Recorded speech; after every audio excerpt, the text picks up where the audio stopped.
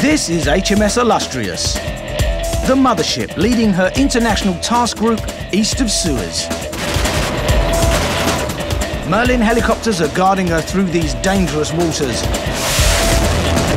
But she's also about to get her most powerful weapon, the awesome GR9 Harrier jump jet.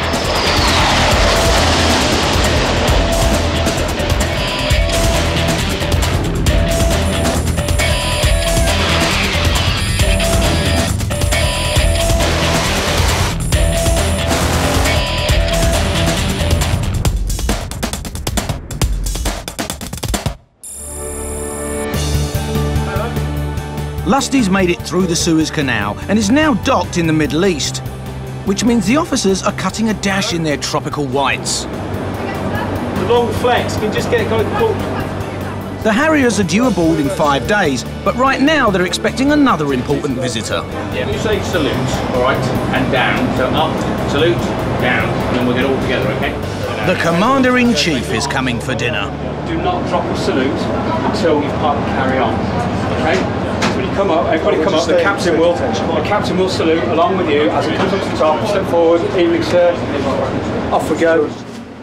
In the captain's galley, a dinner fit for an admiral is underway. We've got a swordfish starter with tagliatelle ribbons, prawn risotto, and a smoked salmon carbonara sauce with saffron in it. It's down to the captain's steward, Freddie, to make sure presentation is perfect. This is what you're all taught in like basic stewarding training and that. Taught how to lay a table, what sort of glasses you need for different drinks, talk different napkin folds. Napkin's called the cock's comb. But serving the Admiral means missing out on shore leave. It's part of the job as steward and that. You do get a lot of dignitaries, VIPs and that, so swings and roundabouts now. You'll get ashore another time, but it's a lot of work that has to go into it. Admiral Sir Mark Stanhope is the Commander-in-Chief of the whole of the Navy fleet.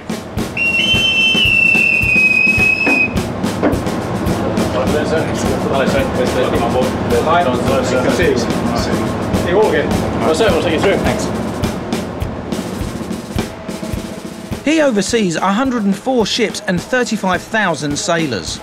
I have to train them, I have to maintain them, I have to ensure they're stored. I have to make sure that they're prepared and available to be used by the government as they require. Aboard Lusty, he's the next best thing to royalty. Now you need a couple of spoons yeah. and your jug a cup of water. Yeah. 19-year-old Shiner has been drafted in for the night to help the captain's chef. I personally think it's still quite hectic, right? Because it's all kicking off now, isn't it? Normally, Shiner cooks quantity, not quality, for hundreds of hungry sailors down in the ratings mess. Down, down in the main house, about 400 people, but now we're 13. You would stand by. Take from this end, please. Got one to go over here as well, Shane. I don't want that skinny bit on there, mate. Another new recruit for the evening is Shiner's twin sister, Rachel. She normally works in the officer's dining room. Starters went down well, so it's all, it's all good so far. There's no shortage of ingredients in the captain's galley. For our main course, we've got a fillet of beef, which has been marinated in dry herbs and spices. We serve that on a flat and a potato with sauteed spinach, roasted red peppers and fennel with a tomato and fennel jam. George's gourmet creations are going down a treat with the Admiral. But deep in the bowels of the ship, there are less savoury matters to attend to toilets, basically, it's like chlorine that's got infected because it's proper stinking. And seriously, right, we need to get unhappy living allowance for this. We need to get paid to live down here. All right. I swear, it's wrong. okay. All right.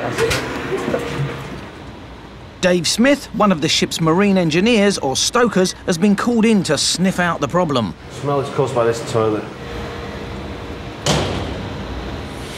That's that problem fixed the, uh, there wasn't enough water in the toilet.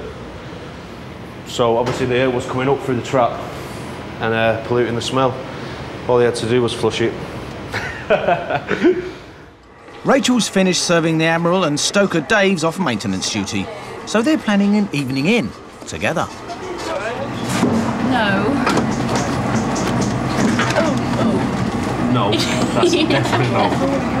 Why do you always go for the gory ones where people get eaten by humans? What's all that about? Choice. If I've got a problem, I know that I can go to Dave and talk to Dave about it and he'll help me out and he doesn't judge it, he doesn't judge anyone. He's always so laid back and he's just lovely. That one's good. No. Why, why would you do that? I'm watching that. I met I met Rachel when she come on board and that. Um, she's just a good crack. She's a good laugh, yeah. But Rachel's got a boyfriend back home. It can get confusing. I mean, if I didn't love him to bits, then yeah, maybe I would try on with Dave. Can't believe I just said that, but end of the day, if you meet someone that you really like, I personally think you should be with them. If um, if you're even thinking about being unfaithful to the partner you're with at the moment, there's no point in being with them. You might as well not be. That's the way I look at it anyway. Watch this space.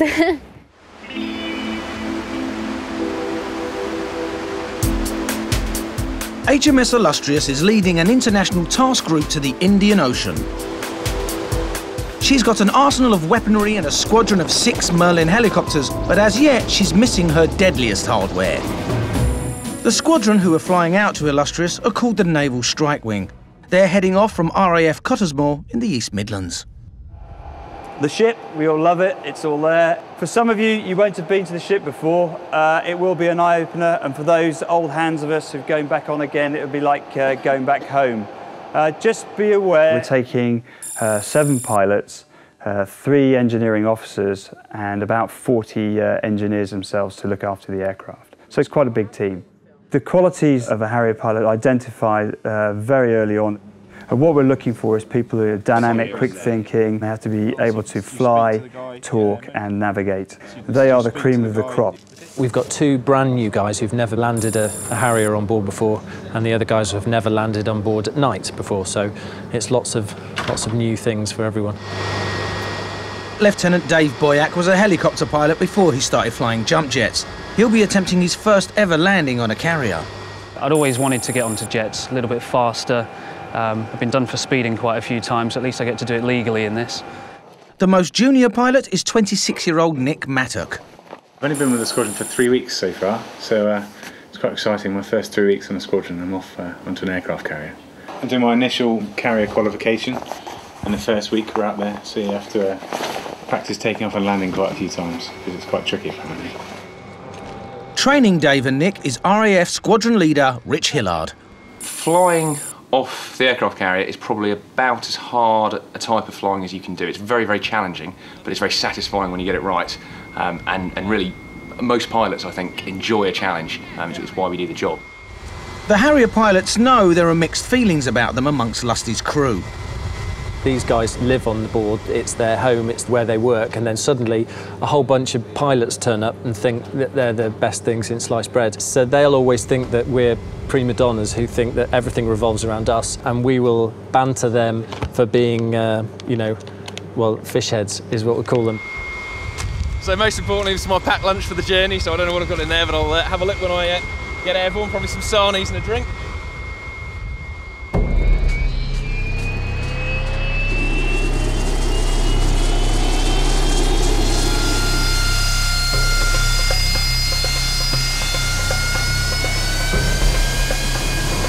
That's got 9721 clear takeoff main service wind 34012. They'll be travelling at 500 miles per hour and they'll do the 4,000 mile journey in two legs.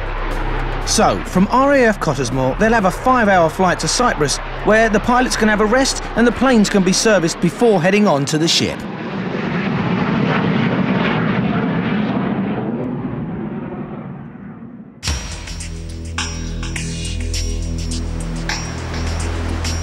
For now, the top dogs, or rather top cats on board Lusty are 814 Squadron, better known as the Flying Tigers.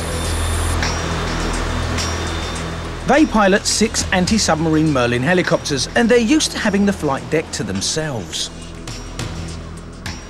It always seems as soon as the jets come on board, then they tend to take priority. The pilots tend to be considered, certainly by the Rotary guys, as sort of shandy drinkers.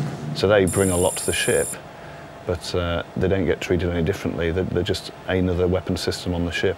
Yeah, looking forward to working with them over the course of this exercise. Honest. no. Today, the Flying Tigers have a different kind of mission, taking the chaplain, Father David Yates, to another ship in the fleet.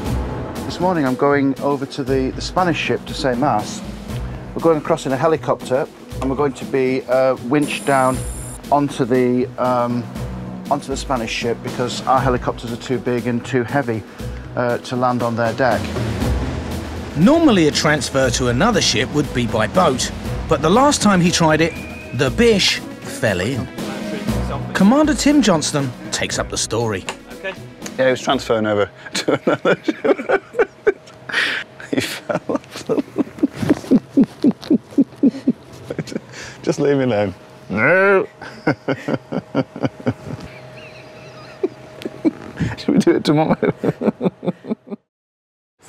D David was uh, unfortunate uh, to be involved as a man overboard. He was transferring over to another ship by boat, and when he got to the bottom of the ladder, he missed the boat, his footing slipped, and he ended up in the water. Here we go.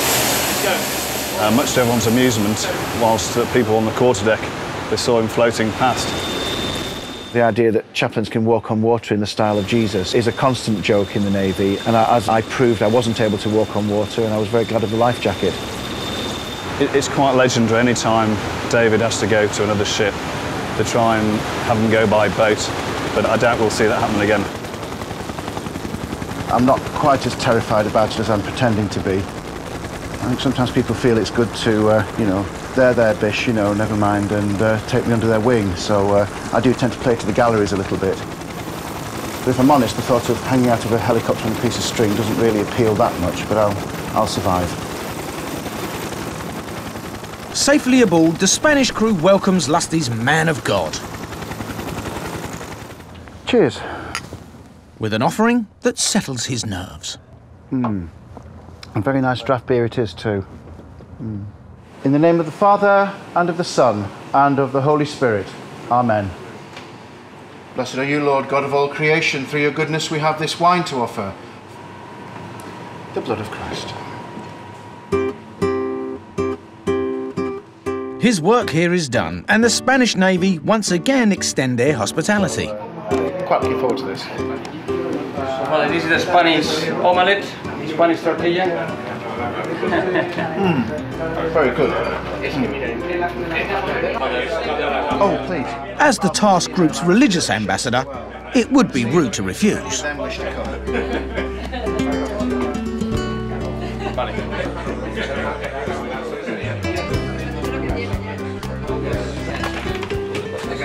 Hey? How, how is the wine? Hmm? The wine is lovely. Very nice indeed.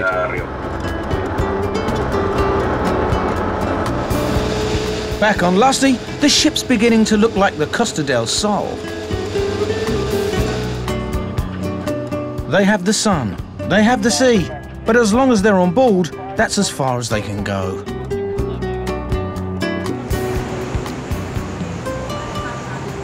I think it's, it's fair to say in a community of nearly a thousand people, um, there's always a chance that relationships could arise, but it's very clear there's a no touching rule on board, and on board the ship there's absolutely no physical interaction between people.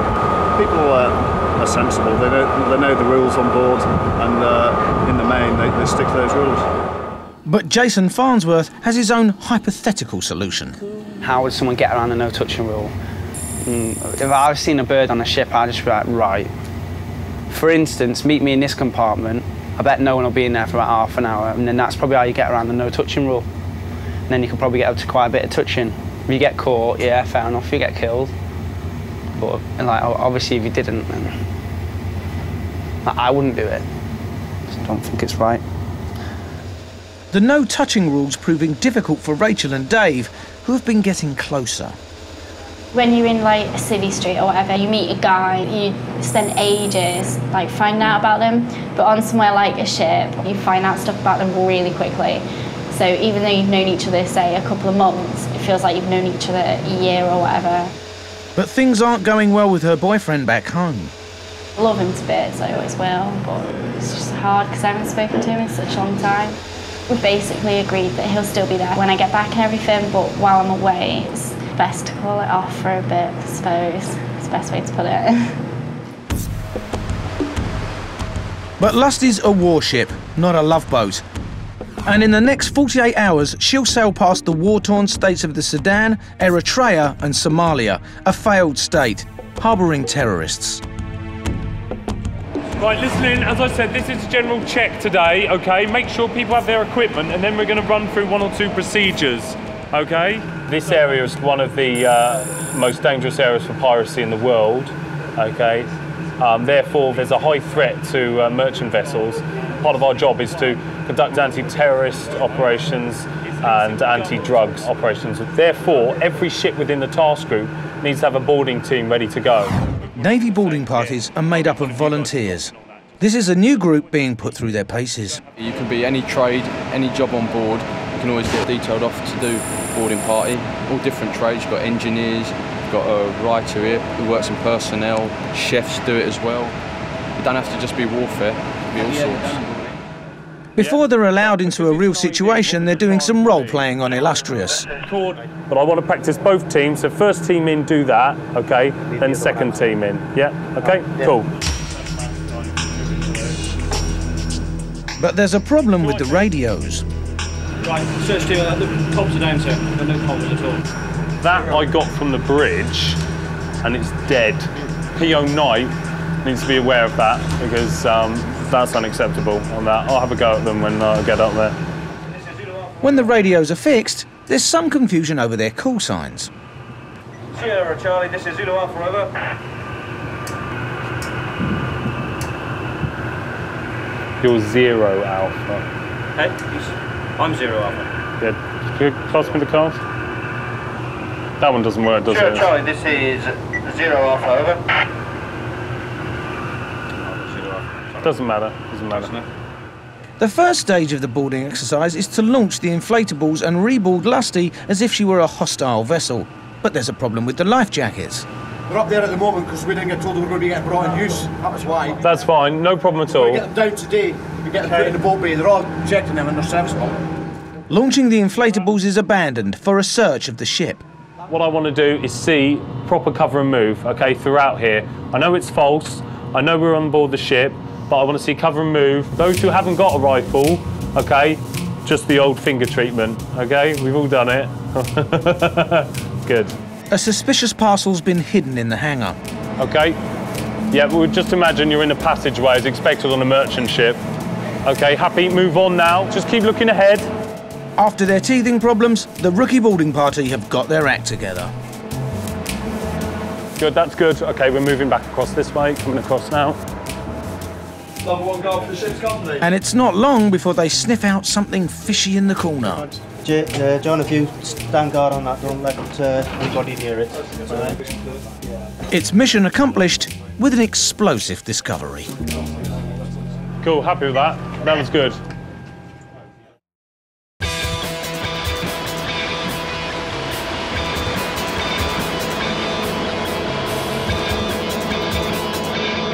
Next day, the flight deck crew are getting ready for the big arrival. The Harriers are coming to the end of their journey to join Lusty. Flying with them is a refueling plane, which rendezvous in the air with the jets at various points on the journey. The tanker takes 10 minutes to fill up each jet with 8,000 litres of fuel. The final leg of their journey from Cyprus will take over three and a half hours. The Harrier Squadron's newest pilot, Nick Mattock, has already arrived by a less glamorous mode of transport. Well, it's quite exciting to be back on the ship, especially uh, being one of the guys going to be flying off it um, back on. Um, yeah, it's quite good fun. Got a speedboat out from the uh, from the dock and climbing up the side on a rope ladder, so it's all very nautical. All right, but it's not, it doesn't look as though it's meant to be there. It shouldn't be there. Right, carry on, eyes down. It's not a Sunday morning stroll. The flight deck crew do their final check for FOD, or foreign object debris. And it's flight deck officer John Llewellyn's job to make sure the runway's spotless. Picking up any loose articles or any items that are liable to damage an aircraft engine or personnel on the flight deck can range from a piece of ground equipment that just hasn't been secured properly to paint flecks that could be ingested or get blown into someone's face. Yeah, I've seen a whole squadron written off. Eight jets in a row because they didn't clean the deck properly after it came out of a refit. That was a nightmare. Uh, Flight Joe, uh, for the jet recovery, plan A obviously into the graveyard. I'd like to put all four uh, jets in there. All positions Flyco, uh, Sherkan on deck. Oh, there you go. There they come. There they come. Eyes left, sir.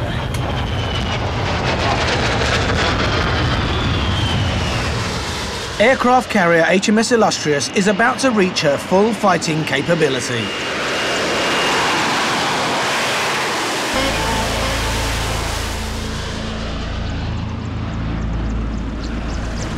Already on board is newbie Harrier pilot Nick Mattock. It, oh yeah, and then it's just keep going up, isn't it? Yeah. That's all right. I'll find it. It's just like these, isn't it, all the way? Yeah. Sweet.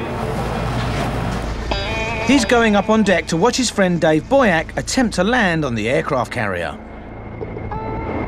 It's Dave's first time, but uh, I'm sure he'll be fine. He's done it before in a helicopter, so what could possibly go wrong? I should get my first go at it tomorrow, so if you uh, maybe a bit of a sleepless night tonight worrying about it, but I'm sure it'll be fine. Just cleared with Flyco. The flight deck is ready in all respects to uh, recover jets, so we're good to go. Jet recovery is quite an exciting time. If you can imagine, these are flying bricks now. They are literally being held up by jet power, and there's a lot happening, and it's happening very fast. As the Harrier pulls alongside Illustrious, its Rolls-Royce Pegasus engine, running at full throttle, is producing 22,000 pounds of thrust, enough to lift 10 cars off the ground. Almost its entire engine thrust is diverted downwards through its four main nozzles, but this isn't the clever bit. Because it's stationary, its ailerons, rudder and elevators, used to steer in flight, are useless. So the pilot controls the Harrier by directing some of the engine's thrust to mini-jet nozzles, on the tail, wingtips and nose. By opening and closing these mini-jets, the Harrier is now being controlled like a spacecraft.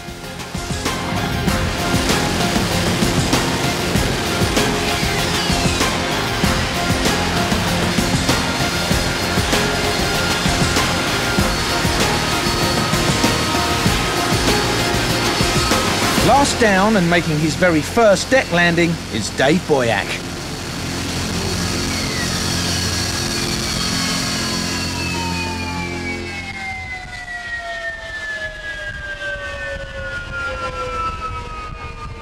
Done about 100 deck landings with helicopters, but just a completely different beast with a jet. So, mm. yeah, the old nerves were going. I didn't expect them to be. Instructor Rich, aka Bolly, is already settling in. On the long transits that, that we do, you can put the autopilot in, which does mean that you don't have to physically be flying the aeroplane constantly. You've got time to get a bottle of water out of your bag. You know, you can even read a couple of pages of a book or something as you're going along, or play Trivial Pursuit over the radio, listening, you know, listening for questions. Probably the hardest thing, of course, is if you need the toilet. If you do, um, I haven't got one to show you, but there are um, little, we call them pee bags, which are just plastic bags with a tube on the end and some foam in.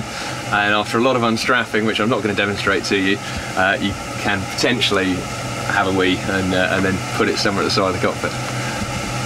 You're going to love that, aren't you? You're going to absolutely love that line. With all four Harriers now safely down, all eyes are on Nick for his first deck landing tomorrow. The magnifying glass will be out. Yeah, no pressure at all after that, is there? That'll be all right. Hmm, what could possibly go wrong? I won't sneak out to the jet the morning before and put all the switches in the wrong places. It'll be fine. Probably wouldn't notice anyway. The Harrier pilots all have officer rank, so share the same floor as the other officers, directly below the flight deck. They're the noisiest cabins on the ship.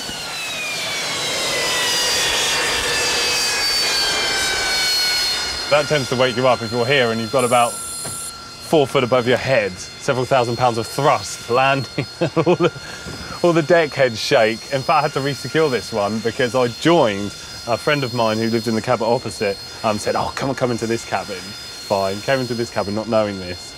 And uh, it landed and the deck heads fell off and promptly hit me on the head overnight, which was nice. A bit of a wake-up call. I don't think it's that warm up here, to be honest with you. Noise isn't the only problem. It's boiling hot in the cabins, even when the air conditioning is working. It's, it's quite warm up here at the moment. I wouldn't say it's roasting, but it's quite warm. Luckily, stoker Dave Smith is on hand to fix it. I don't think I would uh, like to sleep up here. I haven't stuffed anything up my air conditioning unit. Give it a smash. Oh, it's going to have snags, this. Hopefully, once we clear, take this baffle out, as you see if there's any any problems with it, and uh, hopefully this this flow should uh, be less restricted. No, go for it. just It's not just the cabins that are hotting up. The temperature's also rising between Dave and Rachel. Fair to say that me and Dave are really close. I'd say yeah, I'd say me and Rachel are a couple, yeah. As any like couples want to do when they say goodbye to each other, oh I've got to go to work, goodbye, you want to give them a quick kiss or whatever, or a quick hug, whatever like that. And have you ever been caught? No, I've never been caught. Never done anything to get caught out. Girls down the mess, they've got to be out by half ten. It's not allowed down here after that. Because there's too many naughty stokers having sleepovers with friends and they're wrecked. yeah. so they have Did you say that's not us? I don't even No. know where your rack is. Really? So why did, why, did I, why did I have to give you to a shake the other day? It's not a simple question. There you go, bright red.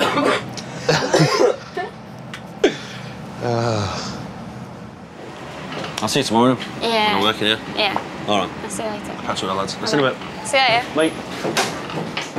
That is our goodbye because we can't do nothing else because we're getting in trouble. So that has got to be our goodbye.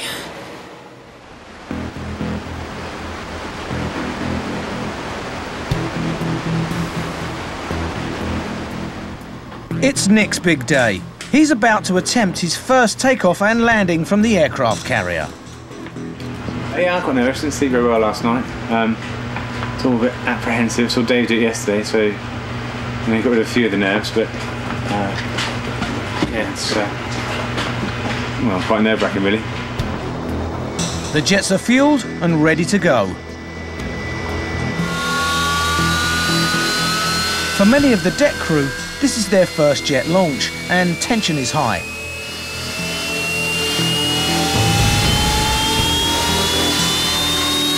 Engines are started and the aircraft line up for takeoff.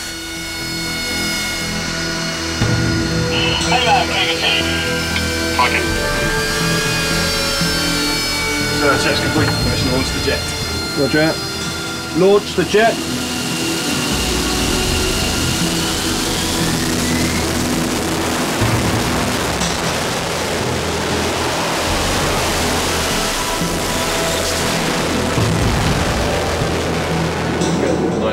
That's nice.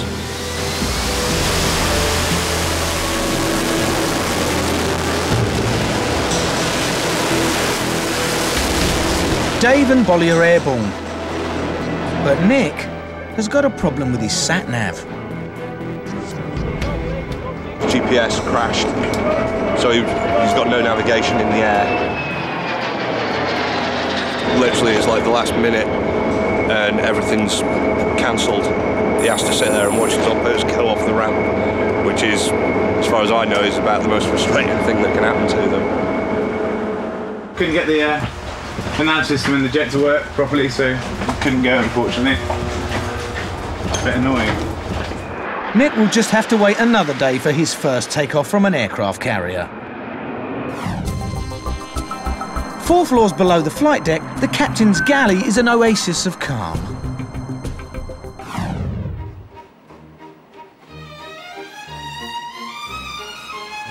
When he's not doing dinner parties for dignitaries, George, the captain's personal chef, prepares a gourmet meal for one.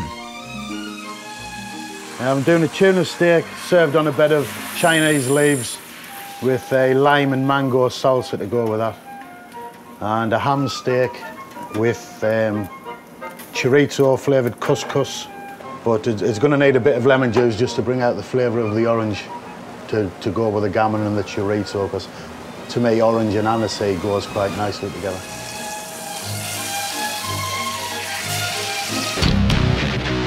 Two floors further down, in the ratings mess, you can forget finesse. This is cooking on an industrial scale. George has got the life of luxury up there in the captain's place.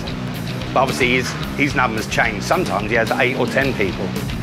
All Navy chefs are trained to cook to the highest standard, but the reality for most of them is providing 3,000 meals a day on a tight budget. It's about £1.78, £1.80 a day at the moment. Um, and uh, ironically, that's actually uh, less than uh, the average prisoner gets uh, when he's at Her Majesty's pleasure, uh, and also uh, less for the allowance for an MOD guard dog.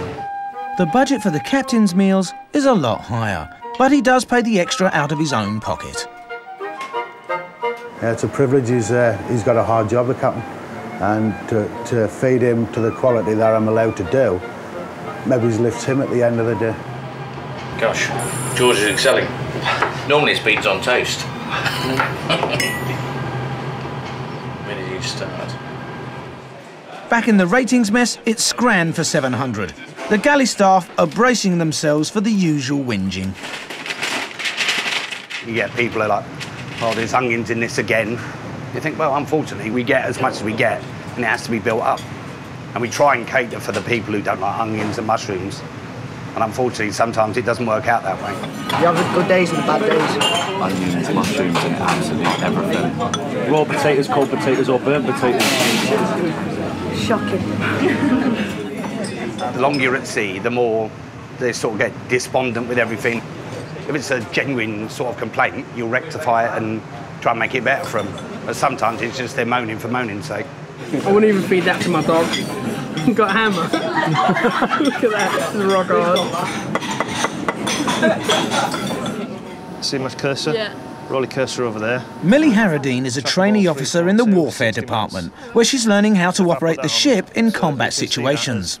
That's the Y means it's a helicopter.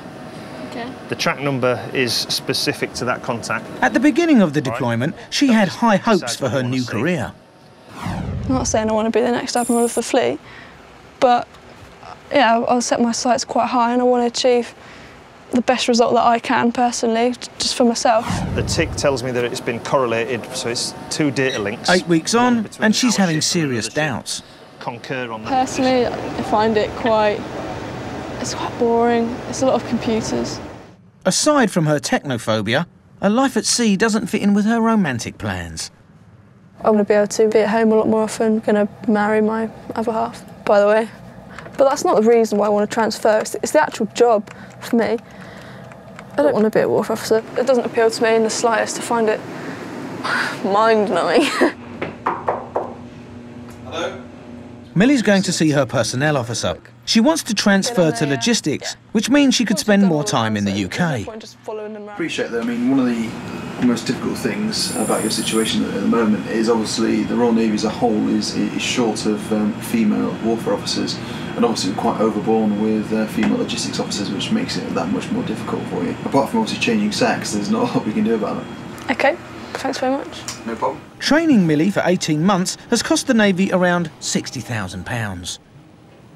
It's quite difficult. We've obviously invested quite a lot of money in her as a warfare officer already, um, so it will be difficult for her.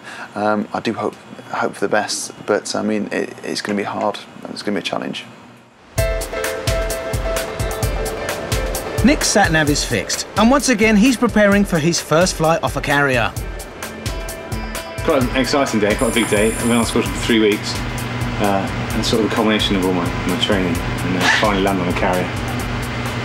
And uh, shitting myself, really. And he's not just taking off and landing, he'll be flying an air defence exercise. So I'll pretend I'm coming in to do an airstrike on the ship, and they'll obviously be trying to fight me off and shoot me down. Um, and I'll be using certain manoeuvres and chaff and flare and things to try and defeat their radars, but I don't think I'm going to get anywhere near the ships. There's, uh, there's quite a few of them out there, and I'm sure they'll shoot me down a long way out. Nick's friend Dave Boyack and instructor Bolly are also taking part. I think the day you stop learning is the day you should stop doing the job, really. So, uh, you know, uh, the most experienced Harrier pilot in the world will always be learning something every trip he does.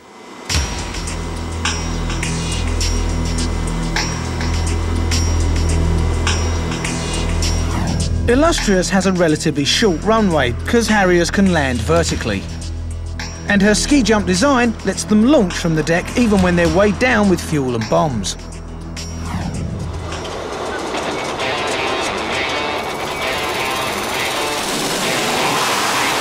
First off is Dave, then Bolly, and finally Nick makes his first ever deck takeoff.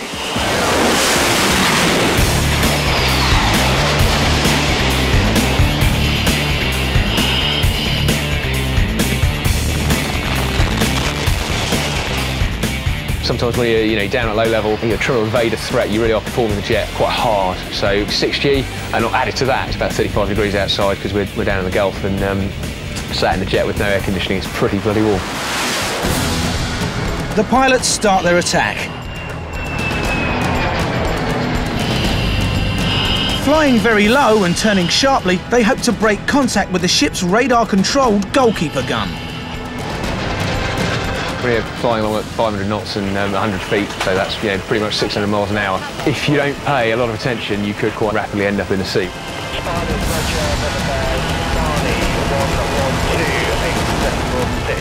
Going around the corner, pulling hard on the jet, it's like a racing driver in his, his racing car when he goes round, getting lateral G. Cougar 3, turn left heading 180. Pull up. Pull up. If you, if you pull too hard, you'll actually eventually grey out, the blood will drain from your brain.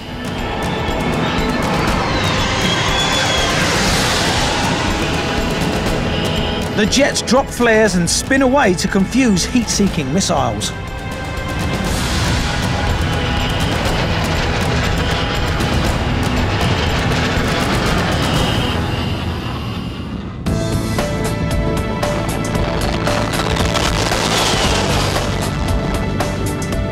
Now for the tricky bit. Nick's lining up for his first ever deck landing. Point three. Good. Roger.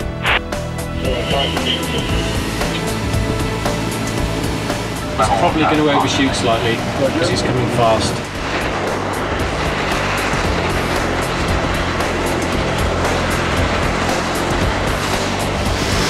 Lieutenant Commander Toby Everett is in flight control to guide the jets in.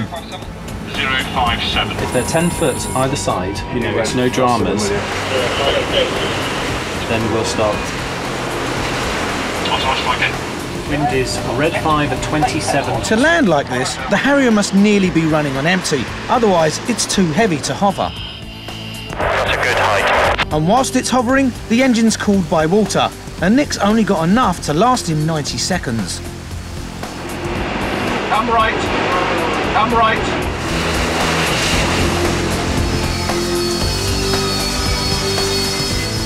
Nice work.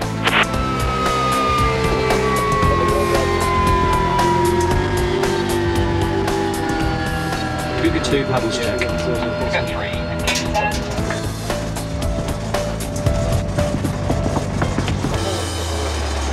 The landing's definitely more alarming. Takeoff, you just sort of get launched off the end and it's fine. It's, uh, landing concentrates the mind a little bit.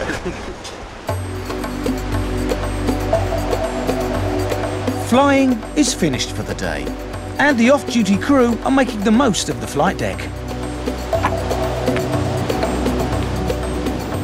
For team sports enthusiasts, the PT department's hosting an alternative.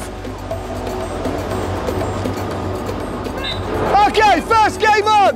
Naval Strike Wing 2 versus WE1! Um, what we're doing is having um, an afternoon of deck hockey in the glorious sunshine. It's just good to let off a bit of steam, a bit of a inter-department, inter-domestic rivalry. Basically, to find out who is the best deck hockey team. Generally, just people are just sort of trying to get a day off work. Okay, hold your stick on top of it, white, screen ball!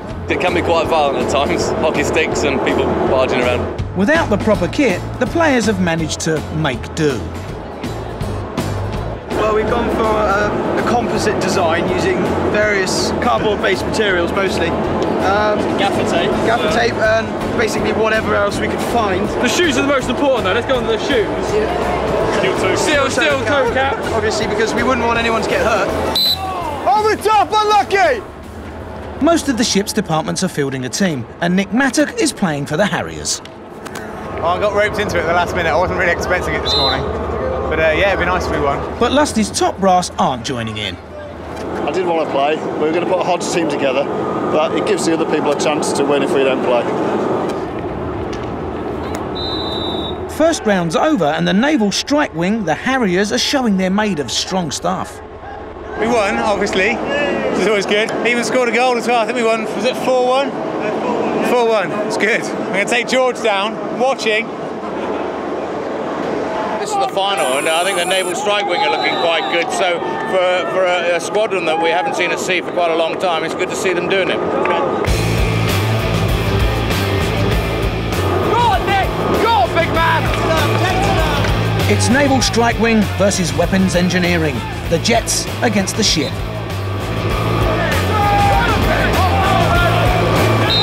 It's two all. The game and the whole competition goes to the golden goal.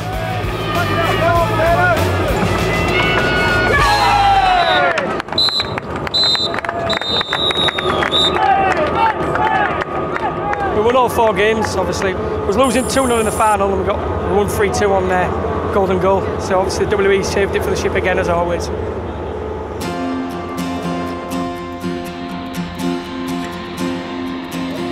But Millie Harradine's not having fun. She's having a career crisis. It looks like her transfer request to logistics has been turned down. I do know that they're going to say no, but it's not official yet. I don't want to wait two months till it is official. We're just wasting time as far as I'm concerned, treading water. Because I'm still technically under training, I can leave today if I want to. And that's what I'm going to do. So that's me, basically. And it's a convenient moment to go, because the ship's back in port in the Middle East. Hello. Hi, sir. Come in. Come to speak to you Okay. about my life. She's brought her letter of resignation to Ian Taylor, her training supervisor. I can understand your motivation. I think it's a shame that you feel this way. I don't want to do warfare. I know that. I'd, I'd rather go outside. All right, Cool. Millie. Brilliant. Thank you very much for that, sir. Yeah, I know sorry you tried. again. yeah, we did try, yeah, I certainly. know. All right, thank you. Thank you. I'll go and pack. But she's got a lot of potential to do very, very well in the Navy. It is a shame. I am disappointed. I feel quite relieved, quite good. Made the right decision. I'm not really sad, don't have any regrets. After 18 months of training, Millie abandoned ship and the Navy. Next time on Warship, the Harriers take on their next challenge, landing in the dark. Fucking hell. And the Tigers show off their big guns.